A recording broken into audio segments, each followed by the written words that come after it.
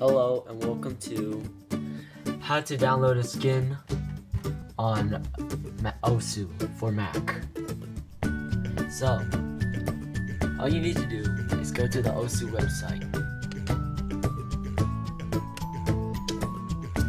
You go into community. Oh wait. You go into community and then go down to forums.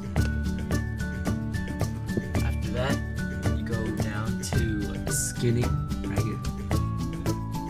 And you choose which skin. Oh wait, and then you go into completed skins because you want a finished skin. Let's say we wanted to download the red glass skin. So we click on that name.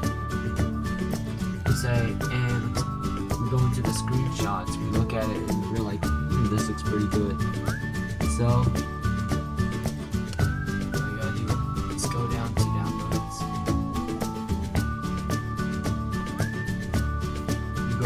downloads and then you click right here, dot z zip. You click that, it should start downloading. So you better get ready to add that folder to Osu. So you use two fingers to click on Osu, like this. You already click two of them on it. And then you click show package contents. You go into Drive C,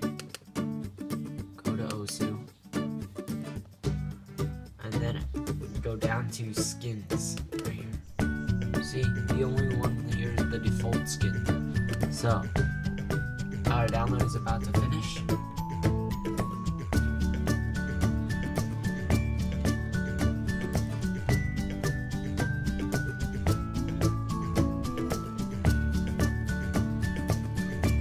So after that's done, you drag it out of the folder.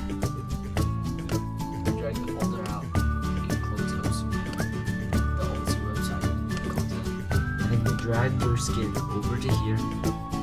Just place it in anywhere, doesn't matter. Close it. Osu. Okay, so we are now in Osu right now. And see I'm in on the default right now. So you go into O- you go into options, scroll down to skinning, click right here, and you just choose your skin, red glass, go. Your skin has now been installed.